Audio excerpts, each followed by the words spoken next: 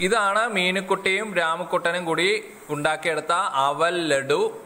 നമുക്ക് ടേസ്റ്റ് ചെയ്ത് നോക്കാം.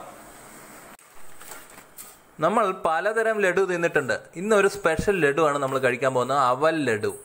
ഇതിന് വേണ്ടത് രണ്ട് കപ്പ അവൽ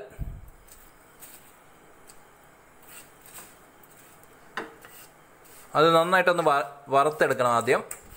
രണ്ട് സ്പൂൺ നെയ്യിലാണ് വറുത്തെടുക്കുന്നത്. ഒരു കപ്പ് ശർക്കര ഒരു കപ്പ് തേങ്ങ.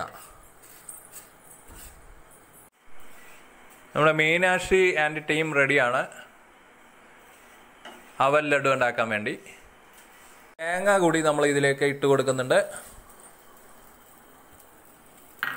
നന്നായി വഴറ്റി കൊടുക്കണം. ആവശ്യമെങ്കിൽ കുറച്ചുകൂടി നെയ്യ് ചേർത്ത് കൊടുക്കണം.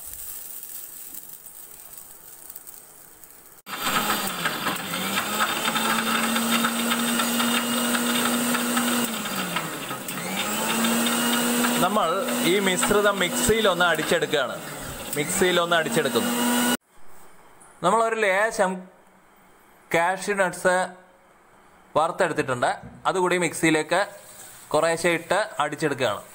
ചൂടോട് കൂടി തന്നെ ചെയ്യണം. ഇതാണ് നമ്മുടെ മീനുക്കുട്ടിയും രാമക്കുട്ടനും കൂടി ഉണ്ടാക്കിയിട്ടുള്ള ലഡു. ഇതിലെ കണ്ടൻസ് ഒന്നുകൂടി പറയാം. രണ്ട് കപ്പ് അവിൽ നന്നായി വഴറ്റിയെടുത്തത്. ഒരു കപ്പ് തേങ്ങ ഒരു കപ്പ് ശർക്കര ഇതെല്ലാം കൂടി മിക്സിയിൽ നല്ല ചൂടോടുകൂടി അടിച്ചെടുത്ത് വഴറ്റിയെടുത്ത കശുവണ്ടി മിക്സ് ചെയ്യുക. എന്നിട്ട് ഉണ്ടയായിട്ട് ഉരുട്ടിയെടുക്കുക.